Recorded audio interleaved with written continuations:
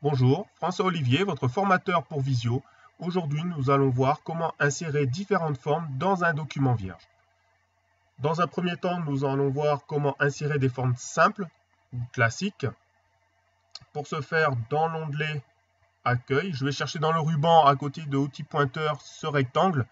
Et là, vous voyez qu'à côté du rectangle, j'ai une petite flèche. Et si je clique dessus, j'ai le choix pour insérer rectangle, ellipse, ligne, forme simple, arc ou crayon. Donc, imaginons que je souhaite insérer une ellipse.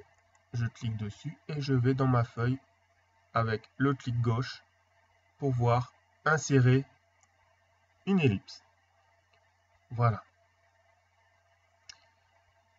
Bien sûr, je peux rajouter des formes beaucoup plus complexes.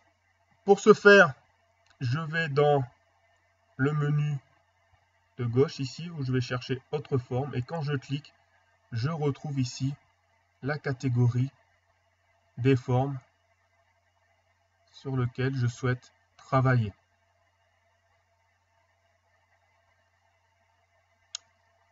Imaginons que je souhaite travailler avec du génie mécanique, un assemblage de vannes pour transmission hydraulique et pneumatique.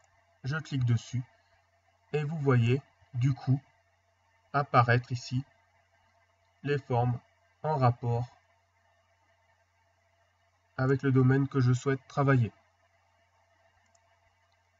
Donc je vais insérer ici une forme et je peux, si je souhaite, aller chercher une autre forme.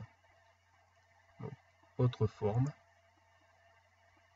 cette fois-ci ingénierie, génie électrique. Et imaginons que je veux des transformateurs et enroulement. Et je vais pouvoir prendre ici un transfert. Voilà. Donc j'ai inséré deux formes et vous voyez que j'ai ici maintenant dans le menu de gauche la liste de mes formes, transformateur et enroulement. Mais si je clique au-dessus, je passe dans mes formes, à nouveau hydraulique et pneumatique. Et je peux passer comme ça de l'un à l'autre. Si je souhaite insérer un connecteur entre ces deux formes, dans l'onglet Accueil, dans le ruban, je vais chercher Connecteur et je vais pouvoir mettre un connecteur Voilà, entre mes deux formes. Et ainsi relier les deux formes. Je repasse en outil pointeur, donc toujours dans l'onglet accueil, je vais chercher outil pointeur. Et maintenant, je vais pouvoir modifier mes formes, par exemple redimensionner. Donc en prenant un des coins et un clic gauche, vous voyez que je peux agrandir ma forme, je peux réduire ma forme.